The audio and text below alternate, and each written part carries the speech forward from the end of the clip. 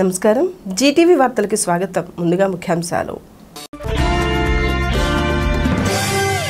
అభివృద్ధి వికేంద్రీకరణలో భాగంగా రాష్ట్రంలో నూతనంగా మరో పదమూడు జిల్లాలను ఏర్పాటు చేయడం సీఎం వైఎస్ జగన్మోహన్ రెడ్డి చిత్తశుద్ధి అంకిత భావానికి అద్దం పడుతుందని ప్రశంసించిన ఎమ్మెల్యే అన్నాబత్తుని శివకుమార్. శ్రీకాకుళం జిల్లాకు స్వాతంత్ర సమరయోధుడు సర్దార్ గౌతు లచ్చన పేరును పెట్టాలని ప్రభుత్వాన్ని డిమాండ్ చేసిన బీసీ సంక్షేమ సంఘం రాష్ట్ర అధ్యక్షుడు కేసర శంకర్రావు.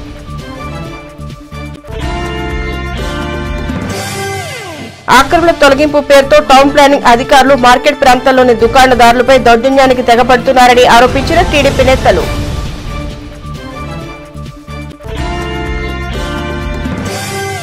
యువతలోని క్రీడా ప్రతిభను వెలికి తీసేందుకు స్టేట్ మీట్ ఛాంపియన్షిప్ క్రీడా పోటీలు దోహదపడతాయని ఎమ్మెల్యే అన్నబత్తున శివకుమార్ పేర్కొన్నారు స్థానిక కొత్తపేటలోని టీజే కళాశాల క్రీడా మైదానంలో రెండు రోజుల పాటు నిర్వహించిన Abdul Sattar Khan memorial T twenty state meet championship పోటీల్లో తమిళనాడు ఆంధ్రప్రదేశ్ జట్లు తలపడగా తమిళనాడు జట్టు విజయం సాధించి ట్రోఫీని కైవసం చేసుకుంది.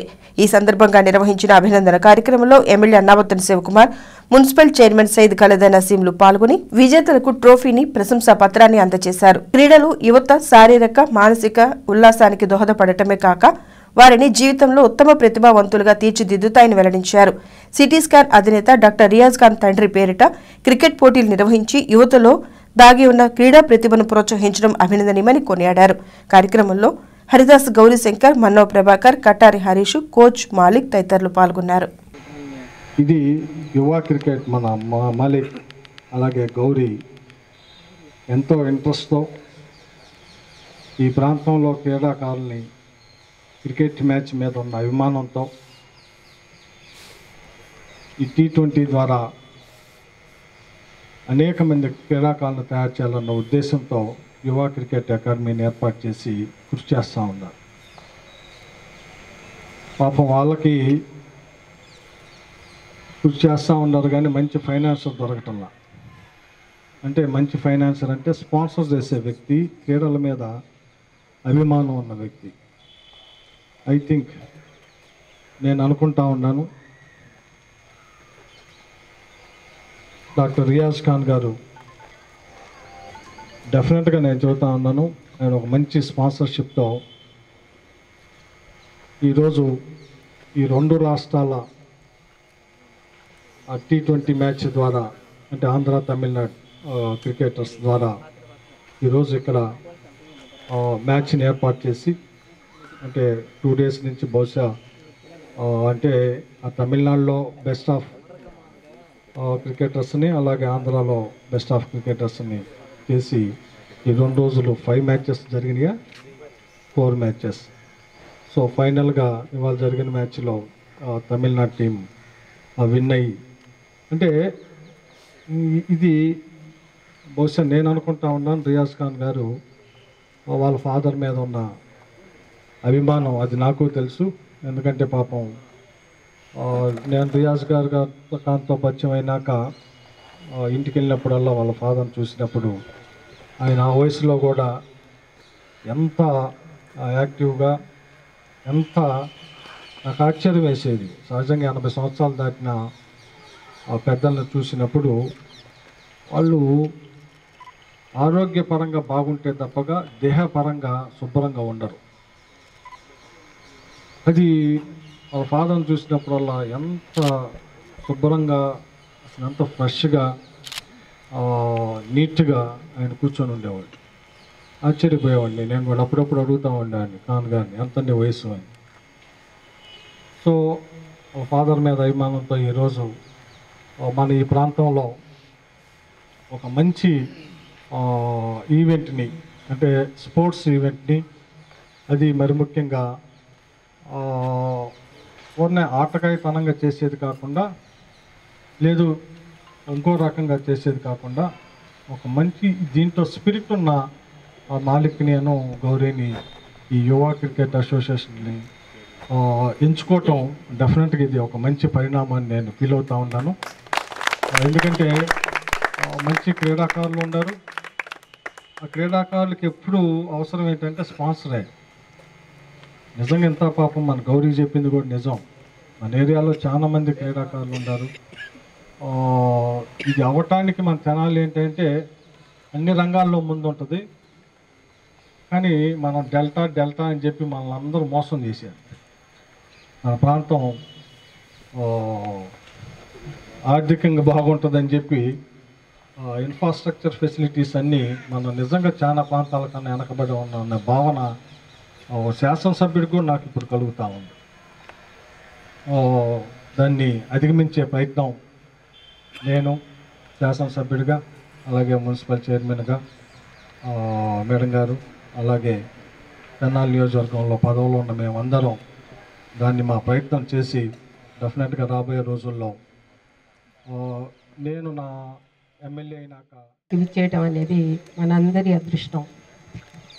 ఈరోజు మనం యువ క్రికెట్ అకాడమీ వారు నిర్వహించిన టీ ట్వంటీ మ్యాచ్ చె- చెన్నై మరియు ఆంధ్రప్రదేశ్ వాళ్ళది మనం నిర్వహించాము. చాలా సంతోషం. ఇందులో విన్నర్స్ తమిళనాడు వాళ్ళని అనౌన్స్ చేశారు. ఐ కంగ్రాచులేట్ దమ్ వన్స్ అని. మా మామగారైన అబ్దుల్ సత్తార్ ఖాన్ గారు వారు చిన్నప్పటి నుంచి డాక్టర్ కావాలని చాలా కోరికగా ఉండేదంట. కానీ ఆ కోరిక తను తీర్చుకోలేకపోయారు. అది తన కొడుకును డాక్టర్ని చేసి ఆ కోరికను తను తన కొడుకు ద్వారా తీర్చుకున్నారు.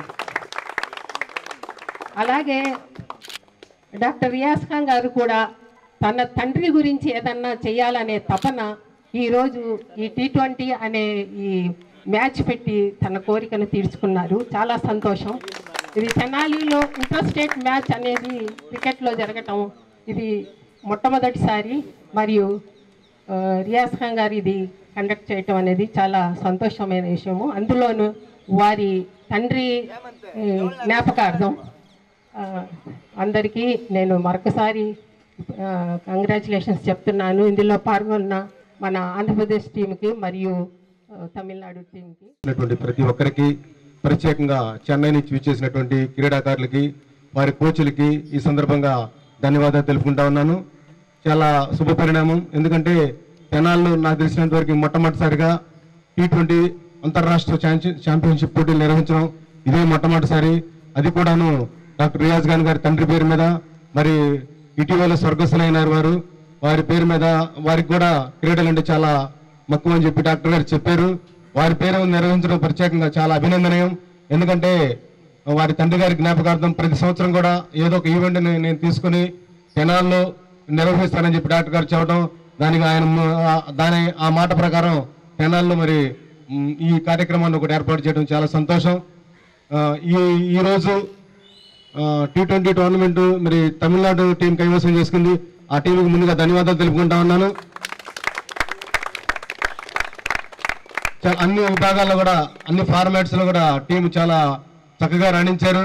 బ్యాటింగ్ బౌలింగ్ విభాగంలో ఫీల్డింగ్ క్రమశిక్షణ పట్టుదల అన్ని కూడా తమిళనాడు టీం అన్ని రకాలుగా ముందుండటం వల్ల వాళ్ళు ఈ రోజున ఈ ఛాంపియన్షిప్ ట్రోఫీని పట్టణ మార్కెట్ ప్రాంతంలోని మున్సిపల్ కార్యాలయం వద్ద నుండి గాంధీ చౌక్ వరకు గల రోడ్డు ఆక్రమణలను తొలగిస్తున్నామన్న నెపంతో మున్సిపల్ టౌన్ ప్లానింగ్ అధికారులు దుకాణదారులపై చేస్తున్న దౌర్జన్యం హేయమైన చర్య అని టీడీపీ నేతలు ఆగ్రహం వ్యక్తం చేశారు. ఈ సందర్భంగా గురువారం టౌన్ ప్లానింగ్ అధికారుల అక్రమ చర్యలను నిరసిస్తూ దుకాణదారులు టీడీపీ నేతలు గాడిబావ సెంటర్లో ఆందోళన నిర్వహించారు. అక్రమల తొలగింపు పేరుతో దుకాణదారులను మున్సిపల్ టౌన్ ప్లానింగ్ అధికారులు మరియు కొందరు అధికార పార్టీ నేతలు చేస్తున్న దౌర్జన్యాన్ని ఎండగట్టారు. గతంలో ఎన్నడూ లేని విధంగా వ్యాపారులపై కక్ష సాధింపు చర్యలకు ఒడిగడుతున్నారని దుయ్యబట్టారు. ప్రభుత్వ నిబంధనలకు వ్యాపారులు వ్యతిరేకం కాదని చిన్నపాటి రోడ్లో కాలువపై ఆక్రమణ నెపాన్ని అడ్డుపెట్టుకుని చేస్తున్న దౌర్జన్యాన్ని మరోమారు వేలెత్తి చూపారు. కార్యక్రమంలో Pasupuleti Trimurthy Kuddus K. Harikishore T. Brahmeswara Rao D. Yogandhar Annam Penna Rao Pendala Subba Rao K. Rambabu స్థానిక షాపుల యజమానులు పాల్గొన్నారు. అరే చిన్నవాడికి ఒక న్యాయం పెద్దవాడికి న్యాయం ఏందయ్యా? మేము అడిగేది ఒక తెలుగుదేశం పార్టీ తరఫున ఒకటే డిమాండ్ చేస్తున్నాం. పట్నం మొత్తం ఒక యూనిట్గా తీసుకో.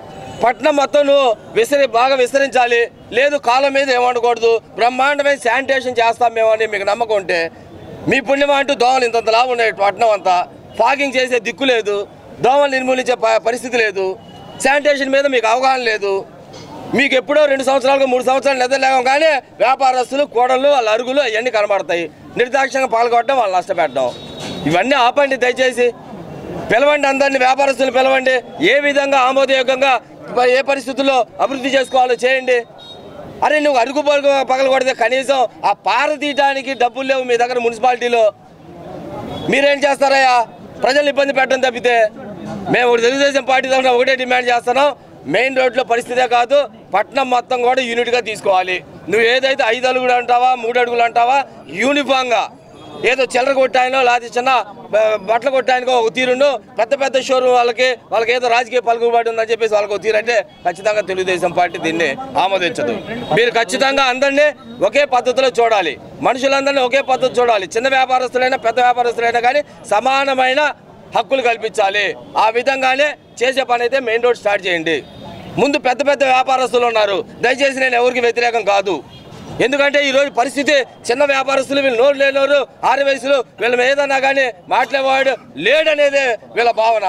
అందుకనే మేము తెలుగుదేశం పార్టీ తరఫున వీళ్ళకి అండగా ఉండడానికి వచ్చాం. అంతేగాని దీని రాజకీయ కోణం లేకపోతే ఇంకోటి ఇంకోటి లేదు. అంటే నువ్వు కొడితే కొట్టించుకోవాలి తిడితే తిట్టించుకోవాలి లేకపోతే నువ్వు పగలు కొడితే పగలు కొట్టించుకోవాలంటే చూస్తా ఖచ్చితంగా ఊరుకోం. ఓ పద్ధతి ఉండేది విధానం ఉండేది దాని ప్రకారమే ఏ కార్యాచరణ కానీ ఉండాలి తప్పితే అడ్డగోలు వ్యవహారం సమాధానం కూడా చెప్పకుండా ఇవాళ మాలేపాటి హరి గారు వచ్చారు వైస్ చైర్మన్ గారు. ఏమైపోయారు మొన్న నాలుగు రోజుల క్రితం? ఆ వజన అడ్డగోలుగా పొక్కులేని పెట్టి కొట్టినప్పుడు ఏమైపోయారు? మేము అడిగాం కదా మీరు ఎందుకు బాధ్యత తీసుకోరు? పాల్గొలుగా మీకు ఆ బాధ్యత లేదా? దానికోసమైనా వీళ్ళంతా మీకు ఓట్లేసి గద్దెలెక్కిచ్చింది ఈ రోజు మటుకు మేము వచ్చి ఆ రోజు చెప్పాం ఆ పద్ధతి అయితేనే ఆ పద్ధతి ఒక చిల్లరగొట్లంత మటుకేనా? పెద్ద పెద్ద వ్యాపారస్తులకు ఉండదా? ఈ రాములవారి గుడి మెయిన్ రోడ్లో జరుగుతున్న ఈ మన మున్సిపాలిటీ అధికారుల దౌర్జన్యమే ఒక ఉదాహరణ. మేము రెండు రోజుల క్రితం ఈ వార్డు కౌన్సిలర్గా మేము వచ్చి మన బ్రహ్మం గారు కానీ మన యుగంధర్ గారు కానీ నేను గారిని వచ్చి మాట్లాడితే టీపీఓ గారు చెప్పిన వర్షం ఏందా అంటే ఐదు అడుగులు వెడల్పు రెండు అడుగులు లోతు చొప్పున వ్యాపారస్తులు వాడుకోవడానికి అరుగు కట్టుకోవడానికి ఒప్పుకొని ఈరోజు మరలా రెండు రోజుల నుంచి మళ్ళీ పగలగొట్టడం అనే ఒక డ్యూటీ అతను వరుసగా పెట్టుకొని మూడు రోజుల నుంచి వ్యాపారస్తుల్ని ఇబ్బంది పెట్టడం అనేది ఈ మున్సిపాలిటీ అధికారులకు దౌర్జన్యాన్ని తెలియజేస్తుంది. తెనాల్లో ఒక మెయిన్ రోడ్డేనా? బోస్ రోడ్ లేదా? షరాబార్ లేదా? గంగనం పెట్టలేదా? కానీ ఏ రోజు కూడా మేము ఎవరిని కావాలని టార్గెట్ చేయమని మేము చెప్పట్లేదు. అందరికీ ఒక న్యాయం. ఇక్కడ ఉన్న వ్యాపారస్తులు ఒక వర్గం అవటం వల్ల వీళ్ళ మీద ఒక న్యాయం అనేది మున్సిపల్ అధికారాలు అధికారులు తెలియ చేస్తున్న ఒక దౌర్జన్య కాండకి నిదర్శనం. ఎంత కొట్టండి? ఇది మొత్తం కలిపితే ఇరవై అడుగులు ఉండదు ఇరవై గజాలు ఉండదు. ఇరవై గజాల కొట్టి మీద నువ్వు చేసే దౌర్జన్యం. అసలు వీళ్ళు చేస్తున్న దౌర్జన్యం చూస్తే సామాన్య ప్రజలకు కూడా వీళ్ళ పరిస్థితి ఏందని అర్థమవుతుంది. రెండున్నర సంవత్సరాల నుంచి వీళ్ళు కాలువలు తీయటం తెలియదు. ఈరోజు వచ్చి ఇప్పుడు ఈ టైంలో కాలువలు తీస్తున్నారు. అంటే ఏంటి వీళ్ళ ఉద్దేశం? అంటే వ్యాపారస్తులు ఇక్కడ వ్యాపారం చేసుకోకూడదన్నా? అర్ధరాత్రి పూట తీయాల్సిన కాలువలు కమర్షియల్ ఏరియాలో మిట్ట మధ్యాహ్నం తీయడానికి కారణం ఏంటంటే ఈ వ్యాపారస్తులను ఇబ్బంది పెట్టాలని కాకపోతే వీళ్ళ ఉద్దేశం ఏంటండి? రండి మీరు చేయాలనుకుంటే తాళి మొత్తం చేయండి వీళ్ళు సహకరిస్తారు. మేము వచ్చి కూడా వీళ్ళకి చెప్తాము అరే టౌన్ మొత్తం ఒక రకంగా జరుగుతుంది జరుగుతుంది కాబట్టి మీరు కూడా మున్సిపాలిటీ అధికారులకి మీరు సహకరించాలని మేము వీళ్ళకి చెప్తాము వీళ్ళు మీకు సహకరిస్తారు. కానీ అలాంటిది ఏమి లేకుండా వీళ్ళనే టార్గెట్ చేసి మూడు రోజుల నుంచి వీళ్ళు వ్యాపారం చేసుకోనికుండా రోడ్డు మీద వీళ్ళనే కోవిడ్ థర్డ్ వేవ్ అధికంగా ఉన్నందున జగడగుంటపాలెంలోని కోవిడ్ కేర్ సెంటర్ను తిరిగి కరోనా వైద్య సేవలకు వినియోగిస్తున్నట్లు సబ్ కలెక్టర్ నిధి మీనా తెలియజేశారు. ఈ సందర్భంగా గురువారం మండలంలోని జగడగుంటపాలెం వద్ద టిట్కో భవనాలను ఆమె అధికారులతో కలిసి పరిశీలించారు. కోవిడ్ థర్డ్ వేవ్ ఉధృతి అధికంగా ఉన్నందున జిల్లా ఉన్నతాధికారుల ఆదేశాల మేరకు డివిజన్లోని ప్రతి నియోజకవర్గంలో కోవిడ్ కేర్ సెంటర్ ఏర్పాటు చేస్తున్నట్లు స్పష్టం చేశారు. ఇప్పటికే వేమూరు బాపట్ల రేపల్ల ప్రాంతాల్లో కోవిడ్ కేర్ సెంటర్లు ఏర్పాటు గావించినట్లు వివరించారు. ఈ క్రమంలోనే తెనాలిలో గతంలో కోవిడ్ కేర్ సెంటర్గా వినియోగించిన జగడగుంటపాలెం టిట్కో భవనాలను తిరిగి కోవిడ్ సేవలకు ఉపయోగిస్తున్నట్లు తెలియజేశారు. ప్రస్తుతం యాభై బెడ్స్ సిద్ధం చేసి అవసరమైన శానిటేషన్ వైద్యం వాటర్ సప్లై ఆహారం సేవలను తక్షణ వినియోగంలోకి తేవాలని సిబ్బందిని ఆదేశించారు. కార్యక్రమంలో COVID care centre incharge G Venkataratnam పలువురు అధికారులు పాల్గొన్నారు as we know that we are expecting the third third wave and in this wave number is expected so covid care center instruction prakaram prati constituency constituency lo ఒకటి establish చేయాలి so in Tenali we have we are uh, establishing again in the AP TITCO similarly one will be in the Ponur one in Repalli one in Vemur and one in Bapatla so the institutes have been selected and now we are lo- checking whether the arrangements have been started or not. ఇది just uh, like last year we have enough experience how to establish and function and operate a COVID care center.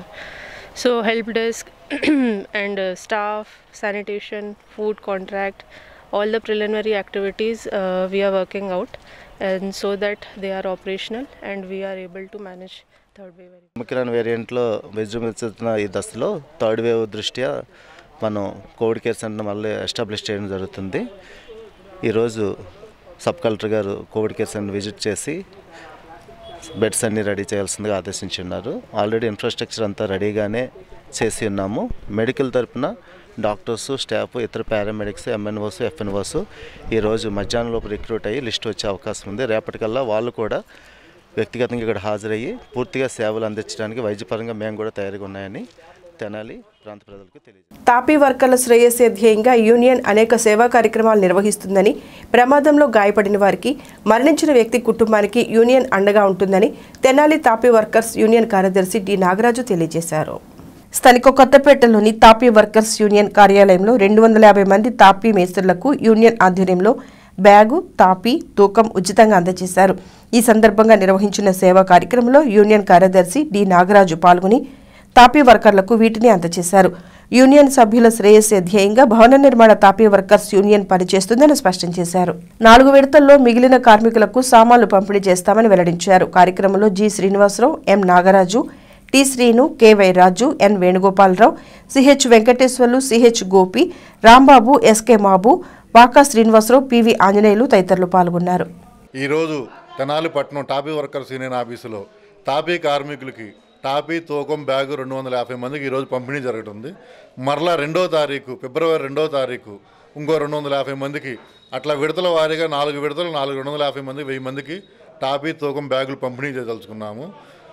ఎవరు మాకు రాలేదు మాకు ఇవ్వలేదు అనుకోవద్దు. మరలా Covid సందర్భంగా Covid ఉంది ఇబ్బంది పడతామని రెండు వందల యాభై మందికి ఈరోజు ఇవ్వడం జరిగింది. మళ్ళీ కార్డులు రేపటి నుంచి పంపిణీ చేసి ఇంకో రెండు వందల యాభై మందికి ఇవ్వడం జరుగుతుంది. అలా మళ్ళీ పదిహేను రోజులు పదిహేను రోజులు గ్యాప్లో నాలుగు విడతలుగా ప్రతి ఒక్కరికి అందిస్తాము. ఎవరు మాకు ఇవ్వలేదు వాళ్ళకి ఇచ్చారు వీళ్ళకి ఇచ్చారని మా ఫీల్ అవ్వద్దు. ప్రతి ఒక్కరికి అందుద్ది. కావున ఇది గుర్తుంచుకొని మళ్ళీ రేపటి నుంచి ప్రతి ఒక్కళ్ళు కార్లు పంపిణీ చేయటం జరుగుతుంది. ప్రతి ఒక్కళ్ళు సభ్యత్వాలు కట్టి టాప్ యూనియన్కి మనం పంపిణీ యూనియన్ వారు పంపిణీ చేయాల్సి పంపిణీ చేస్తున్నారు. అట్టాగే ఫస్ట్ సారి రెండు వందల యాభై మందికి దాని తర్వాత పదిహేను రోజుల తర్వాత మళ్ళీ రెండు వందల యాభై మందికి అట్టాగే నాలుగు విడతలుగా పంపిణీ చేయడం జరిగింది జరుగుతుంది.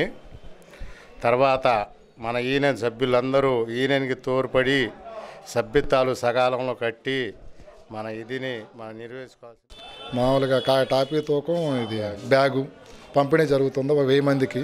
ఈ రోజున గణతంత్ర దినోత్సవ సందర్భంగా డెబ్బై మూడవ గణతంత్ర దినోత్సవ సందర్భంగా టాపీ తూకం రెండు వందల యాభై మందికి ఇస్తున్నారు.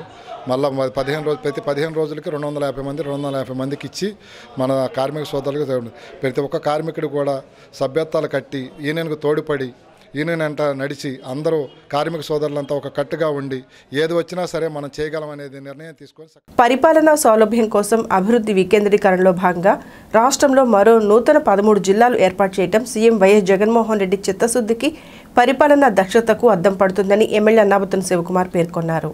స్థానిక కొత్తపేటలోని తెన్నాలి రామకృష్ణ కవి కళాక్షేత్రంలో గురువారం నియోజకవర్గ పరిధిలోని వైసీపీ ముఖ్య నేతలు కౌన్సిలర్లు సమావేశమయ్యారు. ఈ సందర్భంగా వైఎస్ఆర్ విగ్రహానికి పూలమాలలు వేసి నివాళులర్పించారు.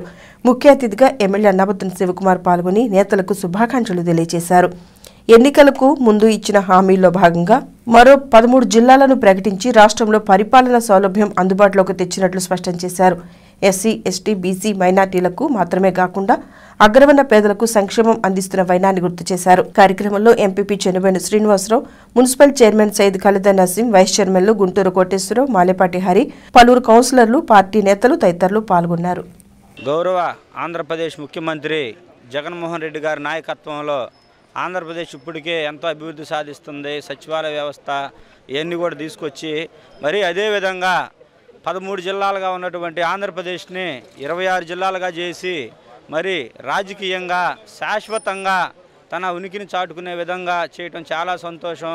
ప్రజలకు కూడా ఎస్సీ ఎస్టీ బీసీ మైనార్టీలకి అందరికీ కూడా ఇప్పుడు ఇరవై ఆరు జిల్లాలో ఉన్నటువంటి దీంట్లో ఇరవై ఆరు జడ్పీ చైర్మన్ రావటం ఇరవై ఆరు వైస్ జడ్పీ చైర్మన్ రావటం కూడా రాజకీయంగా ఆర్థికంగా సామాజికంగా చాలా డెవలప్మెంట్ అవుతుందని కూడా ఈ సందర్భంగా తెలియజేస్తూ మరి ఆ రోజు జగన్మోహన్ రెడ్డి గారు ఒకటే మాట చెప్పారు ఆంధ్రప్రదేశ్ని అన్ని విధాలా అండగా ఆదుకుంటామని కూడా. అదేవిధంగా ఈరోజు రాజకీయంగా ఆర్థికంగా సామాజికంగా కూడా మరి విస్తీర్ణం రోడ్లు డెవలప్మెంట్ కానీ అన్ని విషయాల్లో కూడా ఆంధ్రప్రదేశ్ అగ్రగామిగా నిలుస్తుందని చెప్పి ఎక్కడైతే చిన్న చిన్న జిల్లాలుగా ఉంటాయో తెలంగాణ టైప్లో మన ఆంధ్రప్రదేశ్ కూడా ఇరవై ఆరు జిల్లాలు అవటం అన్ని జిల్లాలు కూడా కేంద్ర నిధులు అదేవిధంగా అన్ని కలెక్టర్లు కానీ ఐఏఎస్ కలెక్టర్లు కానీ వీళ్ళందరం కూడా అపాయింట్మెంట్ చేస్తూ మరి కొత్త కొత్త జీవోలు రావడం జరుగుతుంది. అదేవిధంగా ఆంధ్రప్రదేశ్ అతి త్వరలోనే డెవలప్మెంట్ అవడానికి ప్రధాన కారణమని కూడా రాజ్యాంగం కల్పించిన హక్కులు విధులను ఎన్జీఓస్ ద్వారా సమాజానికి తెలియచెప్పనున్నట్లు రాష్ట్ర దివ్యాంగ సభ కార్పొరేషన్ చైర్మన్ బి. సురేంద్ర పేర్కొన్నారు. స్థానిక గౌతమ్ గ్రాండ్ హోటల్లో గురువారం ఏర్పాటు చేసిన విలేకరుల సమావేశంలో ఎన్జీఓస్ ఆధ్వర్యంలో చేపట్టిన సేవా కార్యక్రమాలు వివరించారు.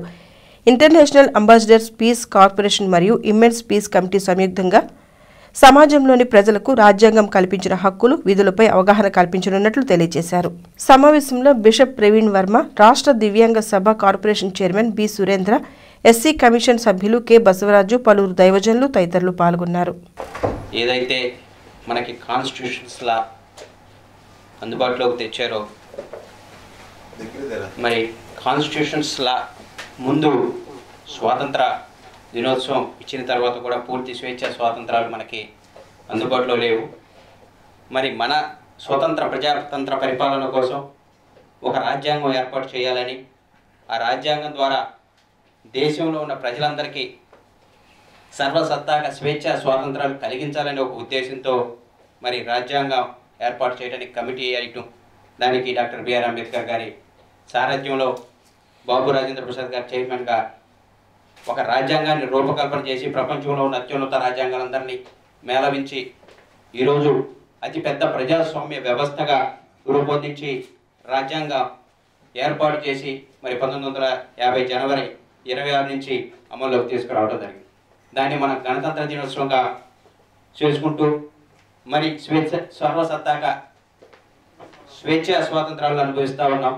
కానీ ఆ రాజ్యాంగం గురించి ఆ రాజ్యాంగంలో విలువల గురించి మరి నా ఎన్జిఓగా మేము ప్రజల్లోకి వెళ్ళి ప్రజల్లో ఆ రాజ్యాంగం యొక్క విలువలు హక్కులు ఏ విధంగా పొందాలో ఒక అంశాన్ని ప్రజల్లోకి తీసుకెళ్ళి ప్రజలకు ఎడ్యుకేషన్ చేయాలనే ఒక ఉద్దేశంతో మరి ఇంటర్నేషనల్ అంబాసిడర్ ఫీజ్ కార్పొరేషన్ ఈ రోజున మన రాష్ట్రంలో కొంతమందికి ఇమెన్స్ ఫీజ్ కమిటీ ద్వారా కొన్ని బాధ్యతలు అప్పగించడానికి తీసుకున్న తరుణంలో మమ్మల్ని కూడా ఆహ్వానించినందుకు వారికి ప్రత్యేకంగా మరి ప్రవీణ్ వర్మ గారికి ధన్యవాదాలు తెలియజేసుకుంటూ అలాగే మరి ఈ కార్యక్రమంలో మాతో పాటు పాల్గొన్న ఎస్సీ కమిషన్ మెంబర్ బసవరాజు గారికి మరి ఈ రోజు కొత్తగా బాధ్యతలు నిర్వహిస్తూ ఒక ఎన్జిఓ నాన్ గవర్నమెంట్ ఆర్గనైజేషన్ తరఫున మేము ప్రజల కోసం రాజ్యాంగ విలువను వారి ప్రజలకు తెలియజేసి వారిని ఎడ్యుకేషన్ చేసి వారి హక్కులు వారు సాధించుకునే విధంగా మేమంతా కలిసి పనిచేస్తామని ముందుకొచ్చిన మరి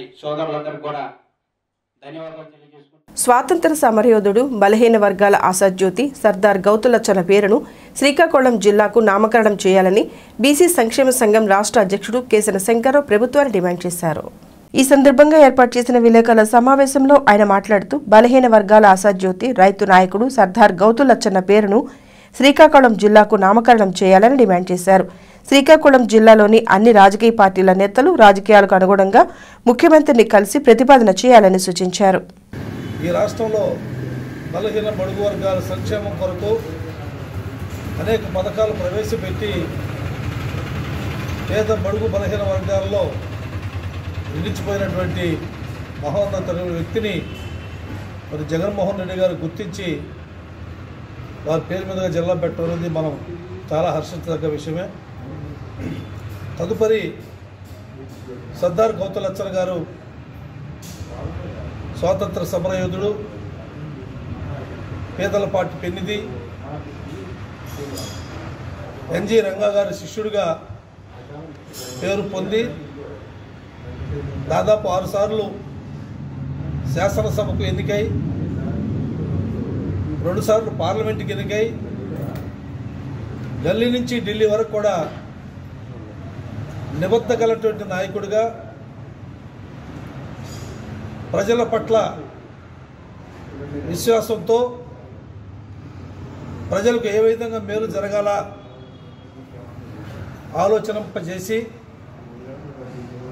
చట్టసభలో ఆయన వాణి వినిపించినందుకు అలాంటి మహోన్నతమైన వ్యక్తి మనం ఎవరు కూడా మర్చిపోకూడదు.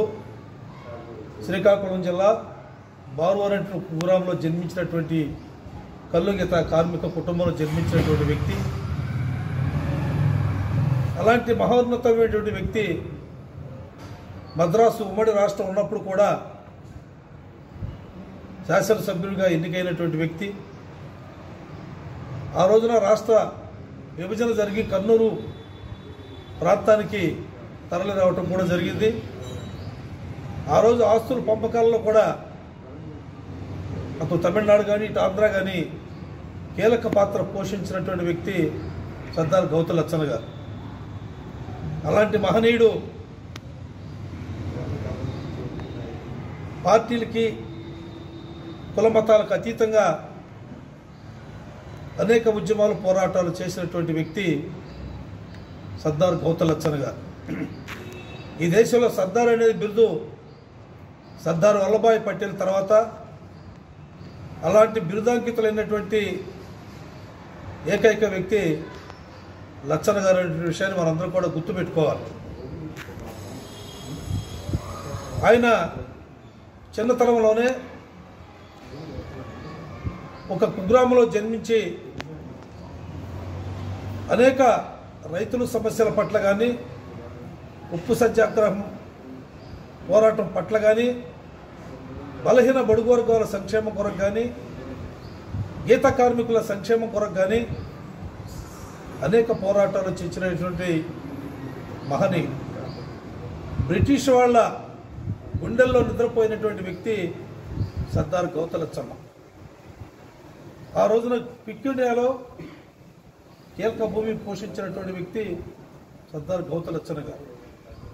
ఆ రోజున బ్రిటిష్ వారు కూడా కనిపిస్తే కాల్చివేత లచ్చలను పట్టిస్తే పదివేల రూపాయలని ఆ రోజున దాతల సహకారాన్ని అందిపుచ్చుకుని క్రమశిక్షణతో విద్యను అభ్యసించి జీవితంలో ఉన్నతంగా రాణించాలని విద్యార్థులకు అమర్తులూరు మాజీ ఎంపీపీ మైనేని రత్నప్రసాద్ సూచించారు.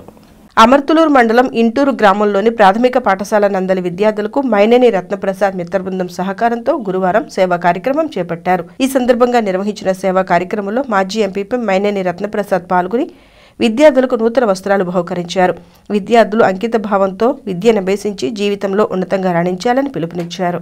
కార్యక్రమంలో కంబం క్రాంతికుమార్ మహదీర్ తేజ షేక్ గౌసీ ఘోరీ ఉమామహేశ్వరరావు పి. శారద శుభలక్ష్మి ప్రశాంతి శ్రీనివాసరావు బుచ్చిరాజు వినోద్ కె. ఆది తదితరులు పాల్గొన్నారు. ఉపాధ్యాయుడిగా చేస్తూ మాకు బాగా ఆప్తుడు. మరి మాకు చిన్నప్పుడు ముప్పై సంవత్సరాల నుంచి కూడా ఆల్పాటి రాయన ప్రసాద్ గారికి నాకు బాగా సన్నిహితంగా ఉండేవారు. మరి ఉద్యోగం చేస్తా తదుపరి వృత్తి వ్యవసాయాన్ని కూడా మానకుండా కంటిన్యూగా శ్రమ పడేవాడు. అట్లాగే కమ్మ వాళ్ళ సోదరుడు ఖమ్మం మోషే గారు వీరు ఇరువురు చనిపోవటం మరి మాకు వ్యక్తిగతంగా చాలా నష్టం. అందుకు మేము ప్రతి గ్రామంలో పేద పిల్లలకి ఎలిమెంటరీ స్కూల్లో ఉండే పిల్లలకి బట్టలు ఇస్తున్నాం. మరి ఈ గ్రామంలో ఎందుకు ఇస్తున్నాం అంటే అంబేద్కర్ గారు ఒకటే చెప్పాడు. మరి చదువు సమీకరించు పోరాడు. మరి దాంట్లో భాగంగా మరి పేద పిల్లలు బాగా చదవాలనే ఉద్దేశంలో ఈ కరోనా వచ్చిన సందర్భంగా మరి పేద పిల్లల పనులు ఉండవు. మరి వాళ్ళ తల్లిదండ్రులకి వాళ్ళు ఇబ్బంది పడతారనే ఉద్దేశంలో ఇంటి దగ్గర వేసుకోవడానికి మేము నూతన వస్త్రాలు ఇవ్వటం జరుగుతుంది ఇక ఇంకా రెండు మూడు గ్రామాలు ఇస్తే మండలం అంతా అయిపోద్ది. దీన్ని సహకరించిన మా మిత్రులకి అట్లాగే ఇక్కడ ఇచ్చేసిన గ్రామ పెద్దలకి మరి మరియు ఒకసారి నమస్కారం. జగనన్న కాలనీలో ఇంటి నివాస స్థలం పొందిన లబ్ధిదారులు ఇళ్ళ నిర్మాణాలను వేగవంతం చేయాలని ఎమ్మెల్యే అన్నాబుద్దన శివకుమార్ సూచించారు. స్థానిక కొత్తపేటలోని తెనాలి రామకృష్ణ కవి కళాక్షేత్రంలో గురువారం పట్టణంలోని కౌన్సిలర్లు సచివాలయ అడ్మిన్లు మెప్మా రీసోర్స్ పర్సన్లు హౌసింగ్ అధికారులతో ఎమ్మెల్యే అన్నావతుల శివకుమార్ సమీక్షా సమావేశం నిర్వహించారు. జగనన్న కాలనీలో ఇంటి స్థలం పొందిన లబ్ధిదారులు తప్పనిసరిగా ఇంటి నిర్మాణం చేసుకునే విధంగా ప్రోత్సహించాలని పిలుపునిచ్చారు. ప్రభుత్వం గృహ నిర్మాణ శాఖ ద్వారా అందిస్తున్న రుణం సకాలంలో అందేలా చర్యలు చేపట్టాలని సూచించారు. అదేవిధంగా డ్వాక్రా సంఘంలోని సభ్యురాలకి ఇస్తున్న యాభై వేల రూపాయల రుణం సరైన సమయంలో చేతికి అందేలా కృషి చేయాలని ఆదేశించారు. ఇదొక మహాయజ్ఞంలా ప్రతి వార్డులో ఇంటి నివేశన స్థలం పొందిన లబ్ధిదారులకు అండగా నిలవాలని స్పష్టం చేశారు. సమావేశంలో municipal chairman Syed Khalida Naseem vice చైర్మన్లు Guntur Koteswara Rao Malepati Hari commissioner M Jaswanth Rao MPP Chenubani Srinivasarao ZPTC Pilli Umapranathi పలువురు కౌన్సిలర్లు పాల్గొన్నారు. మనం వాస్తవంలోకి వచ్చి అక్కడ ఏమేమి హడ్డిల్స్ ఉన్నాయో వాటిని తొలగిద్దాం. అందరం సమన్వయంతో ఇప్పుడు నాకు క్లారిటీ ఉంది. మీ క్లారిటీ ఉందా? ఈ మూడి తీసుకున్నందుకు? తీసుకుంటే మనందరికి తెలిసిపోయింది మీరే చెప్పగలుగుతారు. సార్ ఇదిగో వీడికి ఎవరు లేరు సార్? ఇప్పుడు కొన్ని కొన్ని సమస్యలు వస్తాయి ప్రాక్టికల్గా. ఇవన్నీ ఆన్ పేపర్ మీద ఉండవు. అధికారులు మీరు నేను కూర్చున్నా కూడా కొన్ని కొన్ని షార్ట్ అవుట్ అవ్వవు. అధికారులు ఎంతసేపు ఏం చేయగలుగుతారు? ఆన్ పేపర్ రికార్డెడ్గా ఉన్నది ప్రభుత్వం యొక్క పాలసీని ఇది ఇది అని చెప్పగలుగుతాం. ప్రజాప్రతినిధి ఏం చేయగలుగుతాడు? అక్కడ ఉన్న వాస్తవ పరిస్థితులను చూసి సరైన ఫీడ్బ్యాక్ తీసుకొని అవి పై అధికారులకి మంత్రులకి ప్రభుత్వాన్ని దృష్టికి తీసుకెళ్ళి వాటిని కొంచెం అమైన్మెంట్ చేపించగలుగుతాం అప్పుడు ప్రాక్టికల్గా ఇది సక్సెస్ అవుతాయి. మనం ఎవరి కాళ్ళు అలాగే కూర్చున్నామంటే ఇదంతా ప్రాక్టికాలిటీ రాదు. ప్రాక్టికాలిటీ రాకపోతే ఏమైంది? ఇంత గొప్ప స్కీమ్ ముఖ్యమంత్రి గారు ఇన్ని వేల కోట్ల రూపాయలు ఖర్చు పెట్టి స్థలం కొని స్థలాలు ఇచ్చి మళ్ళీ హౌసింగ్కి నిర్మాణానికి మనం ఇంత చేస్తే ఆ- ఆ ప్రోగ్రాం కనుక మనం సక్సెస్ చేయకపోతే రేపు పొద్దున ప్రభుత్వం యొక్క ఇది డ్యామేజ్ అవుతాం. అలాగే శాసనసభ్యుడిగా నేను ఇన్ని హౌసింగ్ దీని కింద ఇంతమందికి స్థలాలు ఇచ్చి ఇప్పుడు వచ్చి ఇప్పుడున్న ఈ వనరులను నేను వాడుకొని హౌసింగ్ నిర్మాణం సక్సెస్ఫుల్ చేయకపోతే శాసనసభ్యుడిగా నాకు కూడా ఇబ్బందిగా ఉంటుంది. సో మనం ఏదైతే ప్రజలకు చెప్పామో ఏదైతే ముఖ్యమంత్రి గారు మనకు అవకాశం ఇచ్చారో దాన్ని మనం ప్రాపర్ వేలో యూటిలైజ్ చేసుకొని అందరినీ ఈ ఈ మూడు కనుక మనం ఐడెంటిఫై చేయగలిగితే మనకి ఈజీ అయిపోయింది. ఒకసారి మీరే ఆలోచించండి. నేను చెప్పిన మూడింటిని ఐడెంటిఫై చేయండి ఫస్ట్ వాలంటీర్స్కి మీరు ఈ మీటింగ్ అయిపోయినాక కమిషనర్ మిమ్మల్ని కోఆర్డినేట్ చేసుకుంటాడు. మనం మీ వార్డులో మీటింగ్ పెట్టే నాటికి ఈ మూడు లిస్టు తీసుకోండి. ఫస్ట్ ఫేజ్ ఫస్ట్ దీంట్లో ఎవరైతే ఒంటరి మహిళలు ఉన్నారో ఎవరైతే వాళ్ళకి ఏ ఆధారం లేని వాళ్ళు రెండు ముప్పై ఐదు వేల రూపాయలు ఎలిజిబుల్. మూడు ఇల్లు మనం ఇచ్చిన ఇళ్ళ స్థలాల్లో ఇల్లు కట్టుకోవడానికి ఎన్నో వే ప్రయాసాలు చేసి అది ఎంతో కష్టపడి జియో ట్యాగింగ్ కానీ మరి ఏదైనా కానీ మరి లేఅవుట్లలో అన్నీ రోడ్లు కానీ వాటర్ సప్లై కానీ అన్నీ చేసి రెడీ చేశాము. అయితే మనం ఈ ఇల్లు కట్టుకునే ప్రోగ్రాము సిక్స్ మంత్స్ ముందే మనం చేసుకునేవాళ్ళం అయితే మన ప్రతిపక్ష పార్టీ వాళ్ళు వాళ్ళ ఐరన్ లెగ్ పెట్టి కోర్టులో వేసి ఒక ఆరు నెలలు లేట్ అయ్యేలా చేశారు. అయినా పర్వాలేదు. మనం ఇప్పుడు స్టార్ట్ చేసుకుంటే మనం కూర్చొని ప్రతి వార్డులో ఈ సమస్యను ఒక రివ్యూ మీటింగ్లా పెట్టి మనం పరిష్కరించుకుంటే ఏదన్నా చిన్న చిన్న అవరోధాలను అన్నీ దాటుకొని మనం చాలా సక్సెస్ఫుల్గా ఈ మూడు నాలుగు నెలల్లో ఇల్లు స్టార్ట్ చేసి మనం కట్టుకోవాలనేది మన శాసనసభ సభ్యులు శ్రీ అన్యావతిని శివకుమార్ గారి ముఖ్య ఉద్దేశం. చాలా సంతోషం. ఈరోజు అందరం కలిసికట్టుగా శ్రమించి తొందరలోనే మన జగనన్న కాలనీల్లో అన్ని ఇళ్ళు పూర్తి చేసి శంకుస్థాపన చేసుకు అన్ని ఇళ్ళు కంప్లీట్ చేసి మనం గృహప్రవేశాలు చేసుకుంటే మనం సక్సెస్ఫుల్ అయినట్టే ఈ ప్రోగ్రాంలో. ఈ ప్రోగ్రాంలో ప్ర- ప్ర- పనిచేస్తున్న ప్రతి ఒక్కరికి నేను రాజధానిగా అమరావతిని కొనసాగించాలని డిమాండ్ చేస్తూ రాజధాని రైతులు చేస్తున్న ఆందోళనలు ఏడు వందల డెబ్బై రెండవ రోజుకు చేరాయి. ఈ సందర్భంగా తుళ్ళూరు మండలంలోని రాజధాని రైతులు చేస్తున్న నిరసన దీక్షలను అమరావతి జేఏసీ సభ్యులు సందర్శించి మద్దతు తెలిపారు. రాజధానిగా అమరావతిని కొనసాగించాలని నిర్ణయించారు. కార్యక్రమంలో గ్రామ రైతులు మహిళలు పాల్గొన్నారు. ఈ రాష్ట్ర ముఖ్యమంత్రి గారు పరిపాలన మొదలుపెట్టిన దగ్గర నుంచి అసలు ఏం చేస్తున్నారో కూడా ఆయనకే అర్థం కావట్లేదు. వాళ్ళ సలహాదారులు ఏం చెప్తున్నారో అసలు ఆయన ఏం చేస్తున్నారో అర్థం కావట్లేదు. వచ్చిన దగ్గర నుంచి రాజధాని మూడు ముక్కలు చేశారు. అది పరిపాలన లేదు. దాన్ని ఒక పక్కన అట్టపడేశారు. దానికి ఇంతవరకు ఒక తీరుదారి లేదు. ఇవాళ మళ్ళీ కొత్త కొత్త జిల్లాలంట ఇరవై ఆరు జిల్లాలని చెప్పారు. ఇది చేసేదానికి ఒక గతి గచ్చింతరం లేదు. ఇది చేయను సరిగా చేయ చేయించి ఎతగాలేదు కానీ మళ్ళీ కొత్త జిల్లాలంట.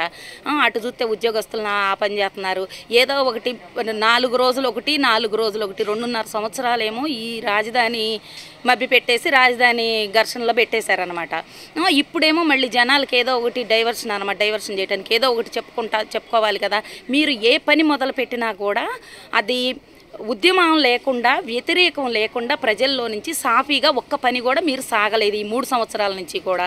ఇక ఈ రెండు సంవత్సరాలు కూడా అంతే మీకు చెప్పేవాళ్ళు అంతే చెబుతున్నారు మీకు మీరు చేయడం అంతే చేస్తున్నారు. కాబట్టి ఏది అవ్వదు ఆ జిల్లాలు అవ్వదు ఈ అమరావతి చేసేది లేదు ఏది చేసేది వార్తలు ముగించబోయే ముందు ముఖ్యాంశాలు మరొకసారి. అభివృద్ధి వికేంద్రీకరణలో భాగంగా రాష్ట్రంలో నూతనంగా మరో పదమూడు జిల్లాలను ఏర్పాటు చేయడం సీఎం వైఎస్ జగన్మోహన్ రెడ్డి చిత్తశుద్ధి అంకిత భావానికి అద్దం పడుతుందని ప్రశంసించిన ఎమ్మెల్యే అన్నాబత్తుని శివకుమార్. శ్రీకాకుళం జిల్లాకు స్వాతంత్ర సమరయోధుడు సర్దార్ గౌతు లచ్చన పేరును పెట్టాలని ప్రభుత్వాన్ని డిమాండ్ చేసిన బీసీ సంక్షేమ సంఘం రాష్ట్ర అధ్యక్షుడు కేసర శంకర్రావు.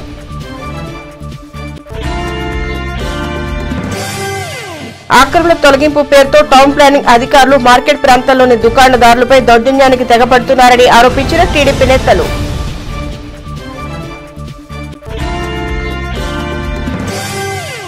ఈ వార్తలు ఇంతటితో సమాప్తం. నమస్కారం.